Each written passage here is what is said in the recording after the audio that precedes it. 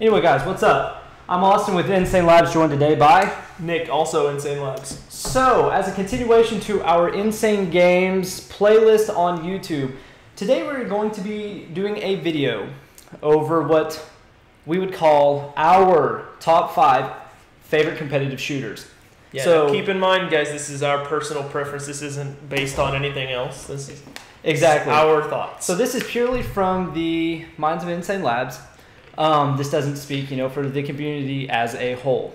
So, you know, over the years, we've had a bunch of great games come out, but recently we've had one come out um, that's kind of stormed the first-person shooter, um, you know, team-based shooter, like playing field, and that is Overwatch Exactly. for sure, and that's going to come in at number five for us. Uh, it's Blizzard's newest game, their shooter that kind of uh, brings together shooter and MOBA in a weird way. yeah. Um, I I, want to say that this game is really reminiscent of uh, what am I?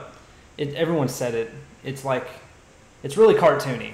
yeah, it's it, I, I- feel like graphics wise, it does uh, resemble Borderlands. that's exactly what I was thinking of. Um, Borderlands. I love that kind of art style. The game, uh, the gameplay itself isn't for me. Uh, I I do enjoy playing the game though. It's a very Yep. fun game to watch and look at. Yeah, I feel like it's definitely. I mean, of course, any competitive shooter is going to be team based, but I feel Right. like having more or less the uh, the champion style play type is more reminiscent of League of Legends Yeah, and like. yeah. Uh, what what are some other games Uh, like well, League and Dota, Dota. and Heroes of the Storm are the three big. Uh, Smite. and Smite. There They're the that's what I was four big uh, MOBAs. So recently, again, uh, one particular game has had a resurgence within the competitive scene, and actually, I do believe that they just wrapped up their uh, first tournament of this year, which was in Columbus, which would be Gears of War. Yes. Yeah, and they just when was was it at E3? I believe that they uh, announced Yes. uh, or at Comic. It was earlier this year. They announced uh,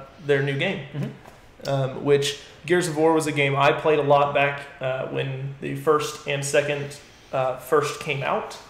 Uh, I played through. It was one of the first. Um, I don't know, gory games. I guess you would call it. The campaign of it is very gory. It was it was one of the first Yeah. campaigns that I played through that Yeah. I just I loved it. Now, correct me if I'm wrong, but I think they had a competitive scene for this in MLG for a while, and then after the decline of first-person shooters in MLG, it kind of just Yeah, it- they they kind of did. It was a it was a very short lived uh, stint in MLG. yeah. Uh, but that that had more to do, I think, with uh, the fact of the Gears of War multiplayer isn't necessarily geared towards as a competitive uh, style as what MLG was Yeah. going for. Exactly. Um, it can be, it can obviously be competitive, and it is super fun. Uh, I used to play, like I said, I used to play it all the time. Yeah, So. I, I played it for a little while, but all right, guys, Gears of War number four. So for number three, um, we're gonna have one of the fan favorites. Uh, it's one of my favorites right now. Call of Duty, more specifically for me, it's Call of Duty Black Ops 3, but we're just generalizing this with Call of Duty. yeah. Um, this has seen a lot of competitive play throughout the years. In fact, I would say it's one of the most heavily played competitive games. And to this day, it is one of the only shooters left in the competitive genre. Yeah, that's for sure. Uh, all the way back to you know you could go all the way back to Call of Duty Two, probably uh, playing competitive back in the day, all the way up till now. I mean, every year there's been at least some form of competition for it. Yeah. uh, and it, it's always been a tried and true competitor when it comes to first person shooters. Yeah, and for those of you that don't know, we actually sponsor a Call of Duty team. Uh, It's the team that plays for Echo Fox, so that's got Proof, Neslo, Cyborg, and Sinful. Mhm. All really great guys. In fact, they just played in MLG Orlando and should be going to COD XP, which is in the upcoming weeks. Mhm. Okay, so for that, that's Call of Duty for number three. Let's go on to number two. Now, this is widely claimed. A lot of people are going to believe this should be number one. Right. Um, but for us, this lands in at number two. Uh, the popularity is immense. Yeah. So I'm gonna go ahead and let you know this one. This is uh, this is probably my favorite to play right now. Uh, the biggest PC game, shooter wise, uh, that is going on right now. Uh, Counter Strike Global Offensive. Or for those of you Um, that are more into the small term CS:GO. Yeah. Um, or you can even go back uh, if you wanted to group this with Counter Strike 1.6 or Counter Strike Source. Um, Counter Strike in general uh, is coming in at our number two spot. I absolutely love this game. the The economy system is probably the best system for a competitive uh, game, and and it's why I like it more than Call of Duty, um, because Search and Destroy is my favorite game type on Call of Duty, Oh yeah. and it is based solely off of Counter Strike Global Offensive uh, bomb missions, and the economy system just pushes it over the Yeah, edge. and I, you know what, guys, um, and as a lot of you may have seen, I believe with like ESL and all those other uh, tournaments, those have actually been getting broadcasted on TV. Oh yeah, Um, yeah. TBS just picked up uh, a series that are, is being called E League. Mhm. It actually just ended their first season. Uh, I believe Virtus Pro won the first season. So Yeah, yeah, which is uh, which is great. You know, I'm glad to see esports making uh, you know its debut onto the actual uh, televised network. Okay, guys, and then s- here we are with number one. Okay, so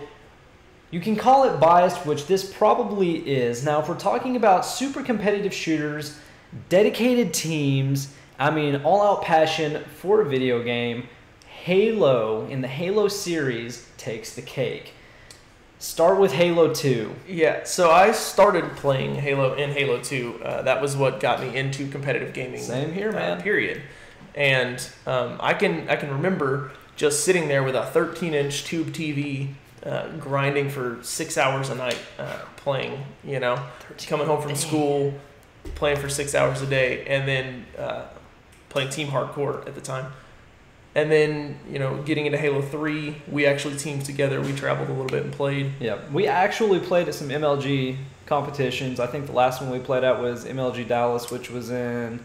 It was when Halo Four came out. It was so yeah. It was I know, actually it was- it was directly before the release of Yeah. Halo Four. Um, the, they the kind of yeah they did a little bit of a release thing with MLG, and we went and competed in that tournament. Um, and sadly, I do believe that that seemed to be uh, what sealed Halo as Yeah. a competitive game for MLG. Now, Halo Right, Five right. Has actually made a comeback. Right, Halo Five has made a comeback because uh, 343 Industries has decided to do it themselves, Mhm. basically with the HCS, and they're doing a, a fantastic job with it. It's still not back to where it was, Yes, um, and in my opinion, could be. It's a fantastic game. Um, just it's it's hard for console games to make it into the scene Yeah. right now when there's so many good PC Yeah. games. And I think a lot of the problems stem from the fact that there's a lot of exo movements coming in in these new games. Example, Call of Duty, Black Ops 3, um, for example, Titanfall even had. Yeah. But then again, Titanfall and Call of Duty, they're more or less made by the same people. yeah. Um, but that even appeared in Halo. Was it in Halo 4 was it just Halo 5 only? In Halo 4, if if you It wasn't Halo. Halo Reach had part of it with their um, like jetpack and Yeah. evade and all that kind of stuff, and then Halo Four had it um, a lot more clearly, and then Halo Five has kind of refined it. Yeah, but a lot of people and those that are very, very much Halo fanboys, it was very ill received, and to this day, it's still not like what it used to be. Like you said, Halo 2 and Halo 3 were kind of the apex of the first person shooter competitive scene that had diehard followings, that had, I mean, actual competition where. I am going to kill who is ever opening that window in the back of our office. If you guys can hear it, we have an alarm system which keeps speaking. But either way, um, I just feel like ever since that died out of the scene, it wasn't necessarily that it died out even. I just feel like there were a lot of other games which kind of stole its glory. For example, Right. it's not a first person shooter, but League of Legends by Yeah. Riot Games. That was released, I do believe, was it 2009 or Uh, 11? it was I, I I'm not hundred percent sure on the. I'm- it's season six right now, Yeah. so season or 2009 seems right. Yeah, Uh, I might be off a little bit, but either way, once that came out, it was free to play, and it drew Yeah. such a massive crowd. To this day, it is one of the. It, I think actually it is the It- most played online game due to Yeah, the fact I'll- that it's free. I wouldn't doubt that it is. It. I would say it's probably either between that and uh, and Dota or Yeah. Dota Two, Yeah, which but is the same thing. But getting back to the fact that uh, that's basically our list, uh, our list of top five first-person shooters, and we're talking competitively, by the way. Right. right. Um, so just to recap, number five was Overwatch, number four was Gears of War, three was Call of Duty, two was CS:GO, and number one was the Halo series. We would love to know what you guys think, so go ahead and comment down below. Share this video, and uh, let's get some conversation going on what you guys think are the top five shooters of all time. Yep. And before we go, we do know that Gears of War is not first person; it is third person, but it still comes in on our list. Exactly.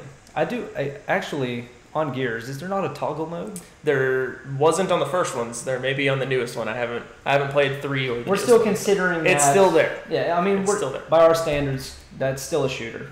But anyway, guys, until next time, we'll catch you later.